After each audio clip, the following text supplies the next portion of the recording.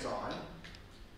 Stay seated, we're happy you've got your own time, blah, blah. By the way, I'm really sorry for the internet. Everyone on this plane will have $50 credit towards your next Virgin America flight.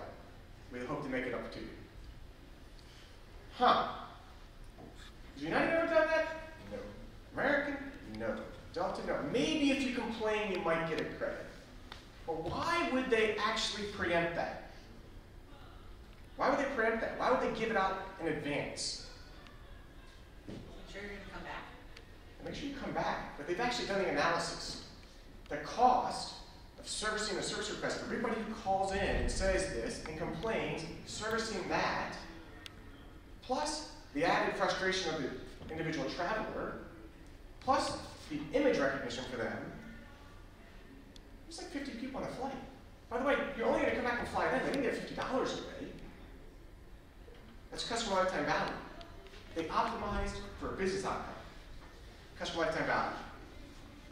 They changed their process of, oh, there's a ticket, there's a problem with this particular internet, so we're to get a bunch of service request tickets, and there's this process that goes through to the end where they get resolved. And they said, no, uh-uh, we're not going to go through that process. We're going to stop the whole service request process. We're going to give them something in advance. That's the difference between someone who says, I want to change my process, and someone who says, no, I'm going to actually think about them as a business outcome.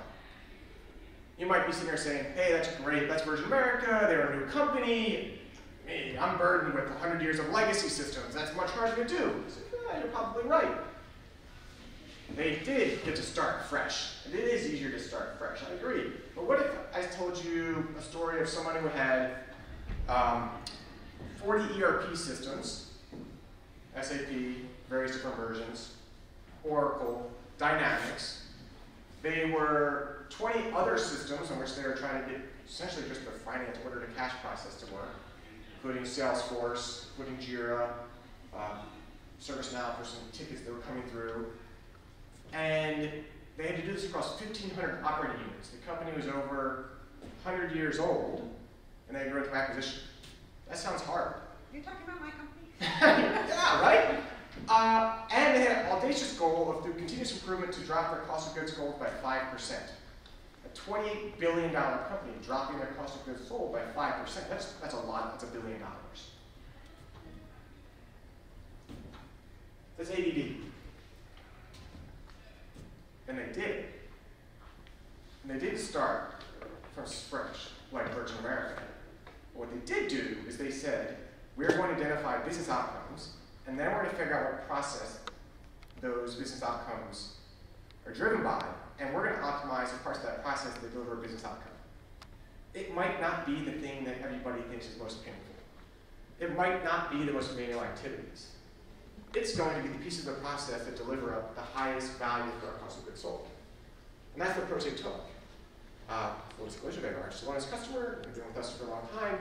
Uh, they run 90% of the order to cash process now through, through Celonis, and that's they use Celonis to look into those individual processes, identify the areas within those little, if you will, tasks, and figure out which of these is going to deliver the most value. And no, you'd be surprised, the ones everyone thought were going to be the ones, yes, some of them were the ones that got fixed. Some of them, no, they didn't get fixed. Fixed meaning, yeah, it's painful, yeah, it should be automated, yeah, there's a better way of doing it. Not disagreeing, but I could do something else that's going to a lot more value. And that's, that's what I'll talk a little more about today. It's how do you figure out the ones that are going to deliver business outcome versus how the ones that just everyone wants to do the pet project for everybody. And how do you arm folks like yourselves to actually show people that so that they will take the one that delivers more value versus the pet project. Uh, you guys all know this. This is there's various different incarnations of this, but this is the idea of a business transformation cycle. Uh, I changed the wording just a little bit from what you might see in a lot of the textbooks uh, to reflect what I call reality. So the first thing is identify a business opportunity, customer lifetime value, working capital, perfect PO rate, um, on-time delivery. That's your business opportunity. I didn't say efficiency or effectiveness. I'm not against efficiency or effectiveness. I love them things, but what pays the bills? What's my corporate strategy goal? The other thing is if you align it to that, I'm pretty sure you have a good chance of getting budget and people to take action on it. Uh, analyze root causes and select a way to address that. That might be automation. That might be just putting an alert up front. That might be finding a new technology to scan paper stuff and turn it to make it digital. There's a lot of different solutions, not just one every single time. Analyze the cause, prioritize based on the business opportunity, and operationalize that change. Operationalize the change is, ironically, everybody identifies opportunity. The consultants, sorry if there's anyone in the audience, I was one of them once before, uh, they're really good at one and two. They're, they kind of walk out the door and say, good luck for number threes and fours. Um, and then if you do it right, they claim credit, but if you don't, they go, oh, that's because you didn't fix it. oh. Um, sounds like the kids, by the way. Uh, so yeah, three, you gotta actually fix it. You gotta do something about it. And then you gotta monitor it. And here's the part where everyone here should get the most benefit. Show it off. Hey, I put in this automation thing. I said I was gonna do this. This is what I did. You have all the data. Why would you show it off? Because you want to get like kudos and a promotion and a raise? Well, sure, yeah, but no, because you want to get your next project funded. That's how you get next project funded. So, um, just walking through this in a little bit more detail, and I, am going to do this just to drive home a point. When you identify the business goal, then you analyze the process to drive it. So, so a lot of people say, hey, I want to fix, fix my purchase to pay process. Really? What's broken about it? Oh, it's broken. It's highly manual. There's all these errors. We're doing things late. No, no. What, what are you trying to fix? The process. No, you're not. Do you want to optimize working capital? Do you want to have more perfect POs? Do you want to process more POs with the same number of people? What, what literally are you trying to do? Then we'll go analyze the process. Because you know what? I'm going to show you here in a second. Every person here has more process permutations than you can mentally actually capture in your head. So you can't just analyze the process. You got to drive your business outcome. Then when you start analyzing the process for that goal, then you can actually find something. Uh, discover improvement areas and then prioritize them on business impact. There's going to be some pet projects, people say, we should absolutely do this. Like, yeah, I'm not saying you shouldn't. Let's do this one other one first.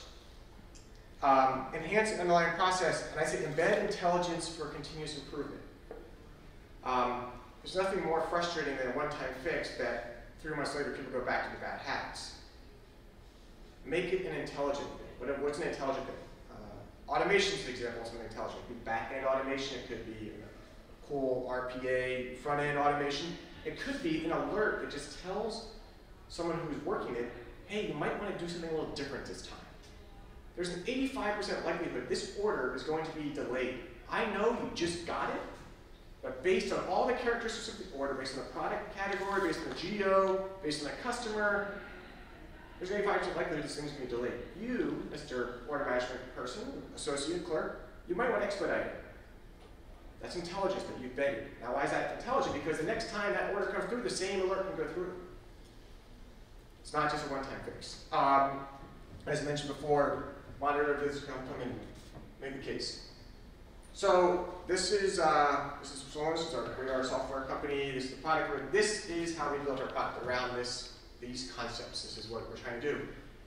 Uh, for those who know, you might be like, hey, I thought you guys did process mining. Yes, that is the underlying technology to our product. Like the same way that queries are the underlying foundation to business intelligence, but people don't buy queries. They buy something that actually delivers value. So um, this is, I'm going to describe this briefly, then I'm going to go into a demonstration, and we'll talk some more about some other customers. So what we do, we suck all of the uh, transactions out of your system so you can see your process the actual way it happens.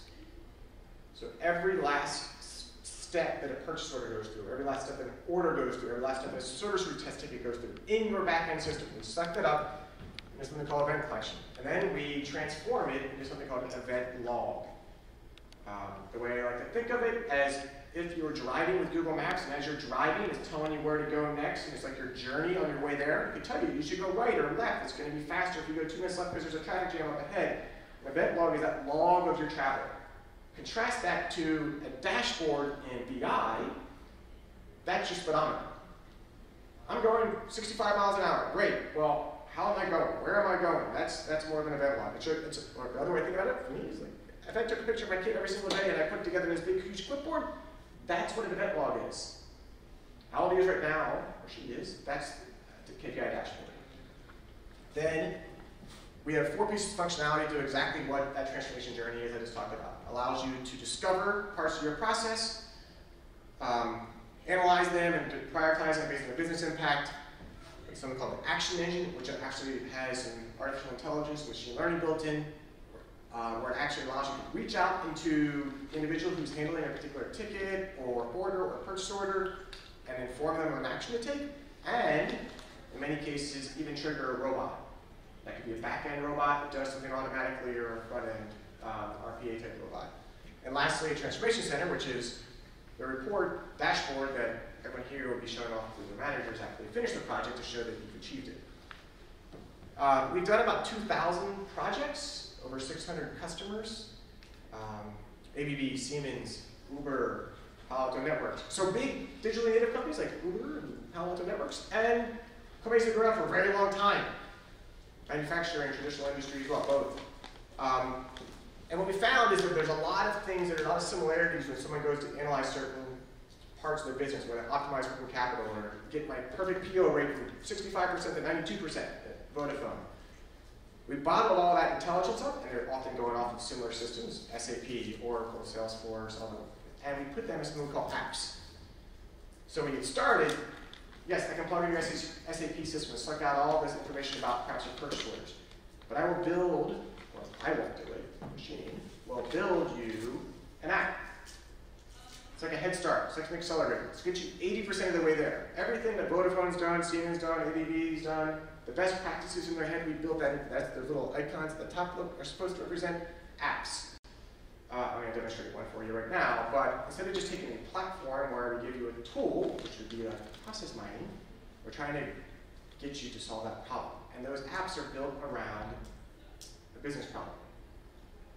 So yes, they are for the process, but they're built around a business problem working capital, automation, productivity, perfect POs for SAP Security pay, or for Oracle order management, or for ServiceNow ticket management.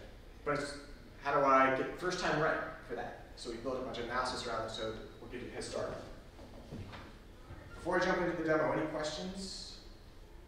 All right. Um, right on time, 15 minutes. All right. So this is what I'm bringing up here, and for the sake of time, I'm not going to show connecting to SAP and pulling the data out and all the rest of that. It's really exciting and fun. If, if you're a geek, we can come talk about it later. Um, but what I'm going to show you is what, what you get once you put all that up there. This is an app built for um, the procure to pay process, or the source to pay, depending on how you say it, and it's for putting in automation. In this particular case, the goal was we're growing as a company, I won't name the name of the company, we're growing really fast, 30 to 40% year on year, and we want to handle the same number of purchase orders, but we don't want to hire more people. How are we going to do that? What's the optimal metric um, that we're trying to trying to achieve for that for that particular one? Here. Uh,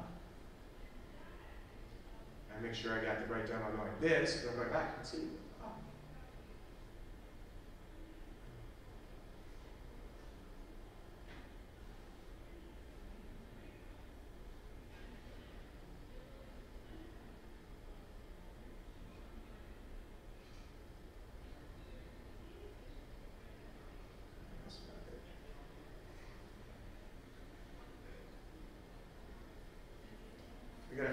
Here. There it is. Okay.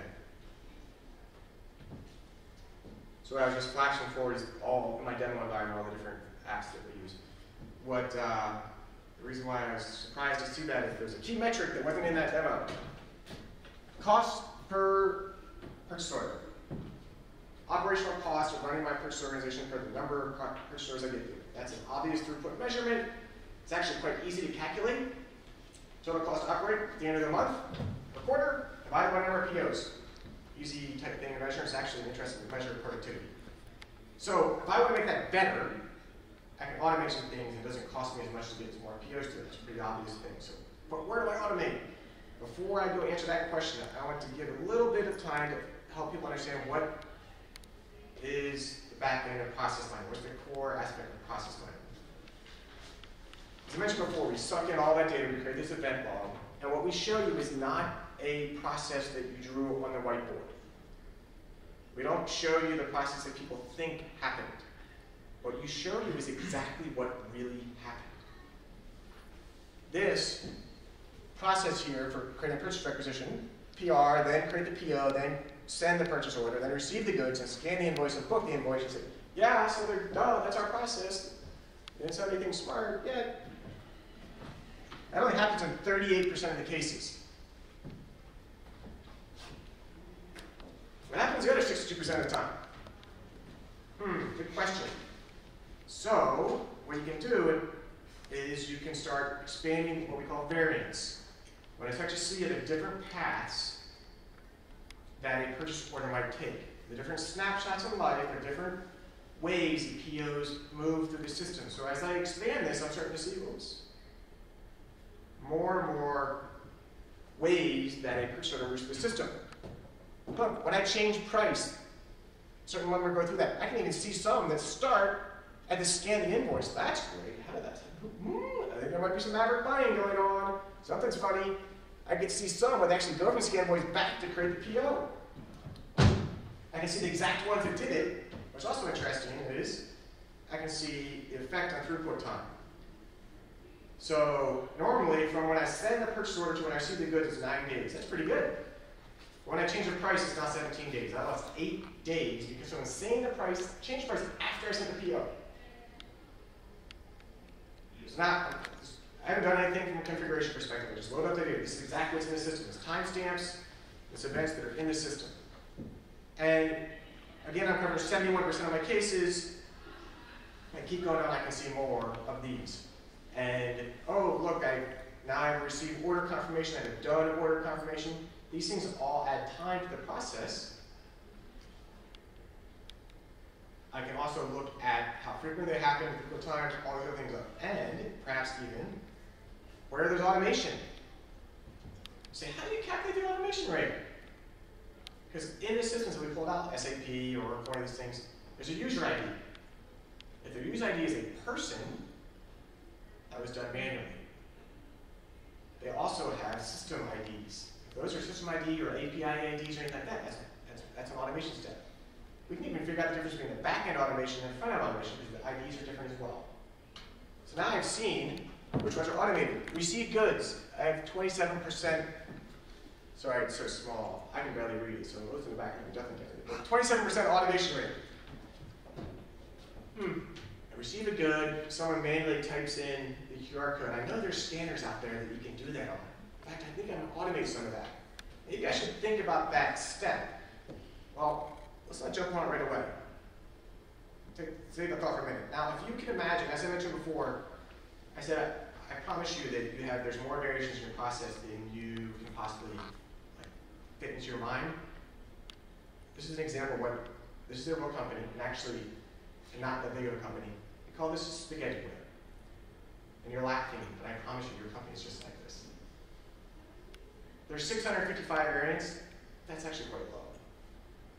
It's usually in the order of thousands.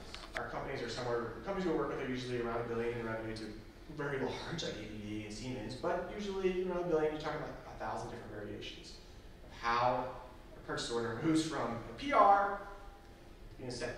Now, a lot of these are onesie twosies, and you might say, I'm not going to do anything about them, and I'd agree with you and say, you know what's really funny? It's the onesie twosies, the ones that bother people the most. And they have very little business impact. You spend a lot of time trying to fix those things and deliver almost no value. Okay, let's go back to the beginning. So, trying to solve this, process, this automation problem. And we think received goods could be a good place to go. I would agree. Um, so, but that's my first glance. So, oops, wrong one. Uh, the tabs across the bottom is what I mentioned we built apps. If you deployed Celonis out of the box without an app, you'd get a blank screen with that variant Explorer I just showed you. There wouldn't be, oh, you can't see the tabs across the bottom, of course, because they're on the little draperies down below. Um, well, believe me, there's tabs across the bottom. Um, those tabs are, what's the app? This dashboard we built comes pre-built out of that for you so that you can get an idea of how to start in terms of looking for, in case, activity scouts, places where I could automate. So the number of manual activities versus the uh, manual rate. I see an outlier. I see goods. That seems like a place that I might want to focus my energy on. There's also the ability to look at this by individual process steps in terms of the manual rate, the back-end automation rate, and the, the robot rate. So like, ah, I think received goods has also got quite a low number of, uh, quite a high number. I can actually say, I only want to look at processes that go through that step. Now you can imagine anytime you're looking at lots of variations, you might also say, hey, that was great, but I really am interested in that change price. You could also look at, just filter for processes that go through that. You start to analysis based on just the processes that follow, which customers are doing, or products, or whatever.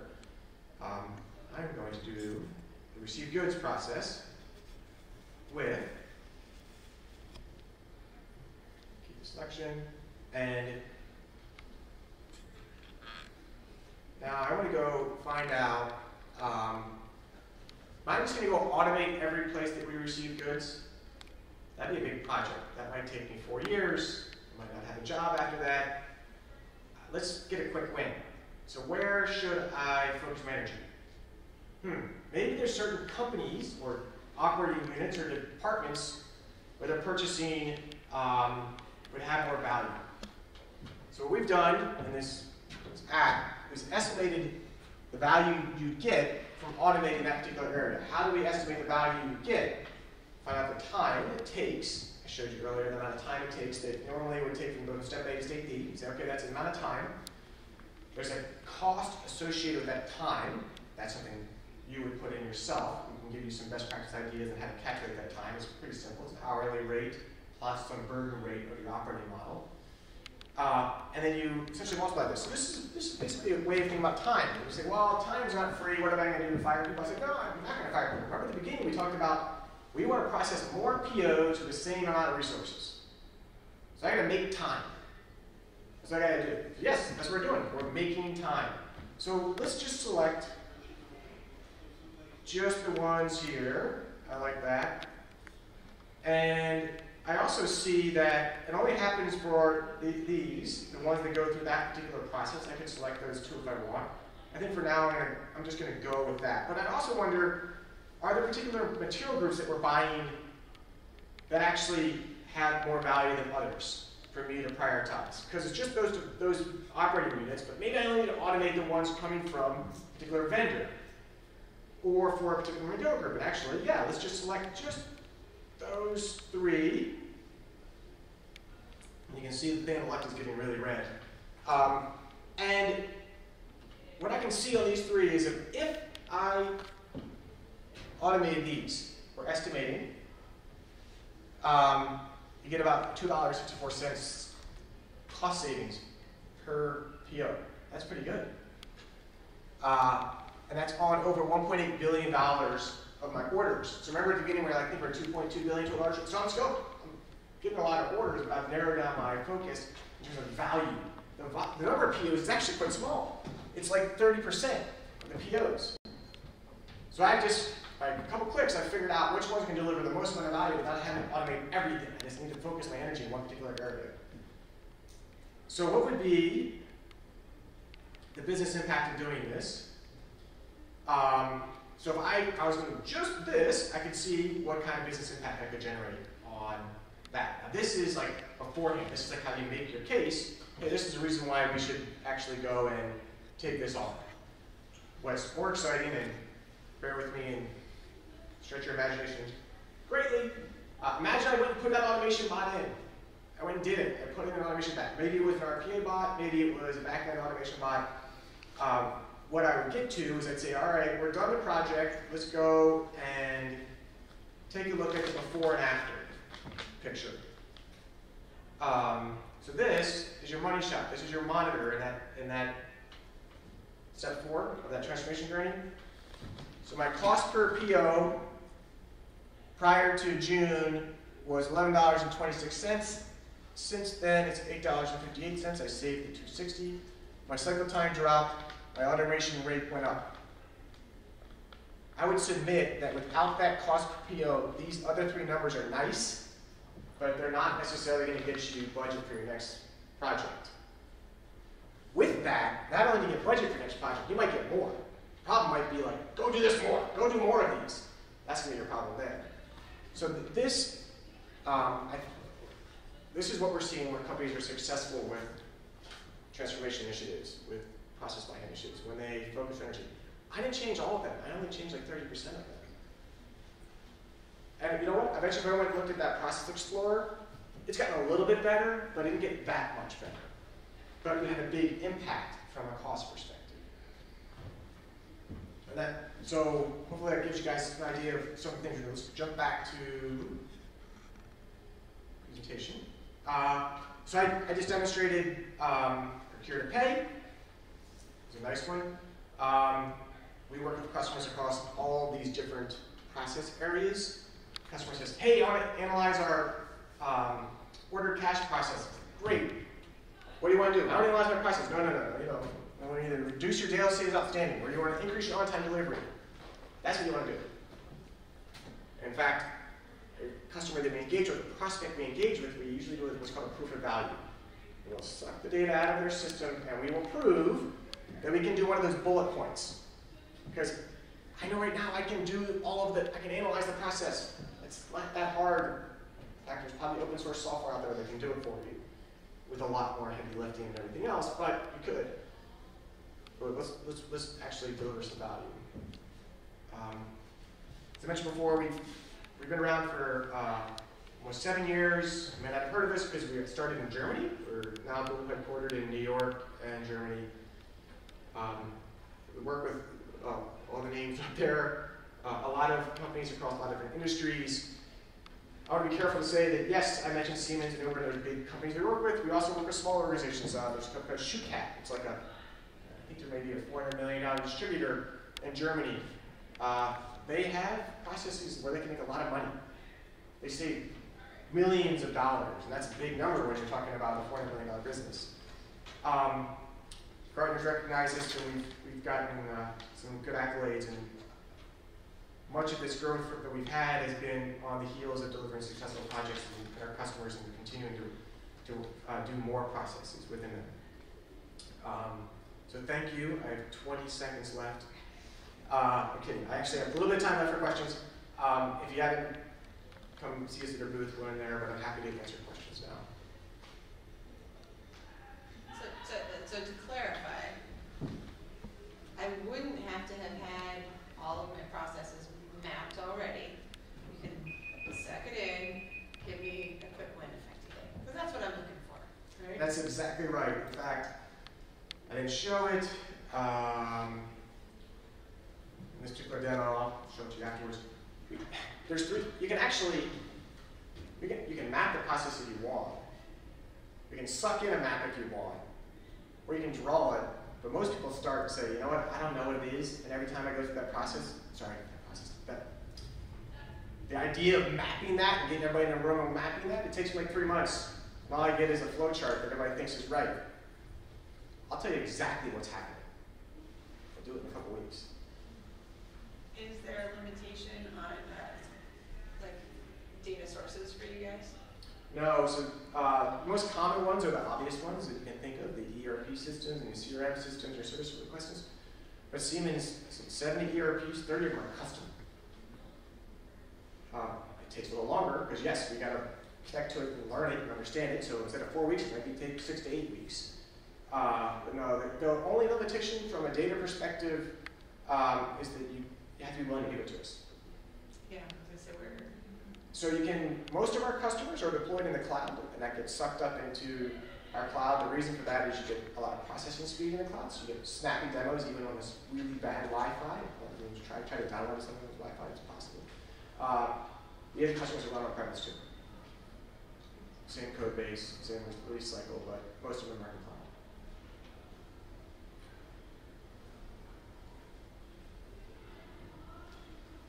Other questions? I know, it's Thursday, it's the end of the session, and I'm, exhausted. I should have done all instead of doing PowerPoint though. Thanks for your time. I'm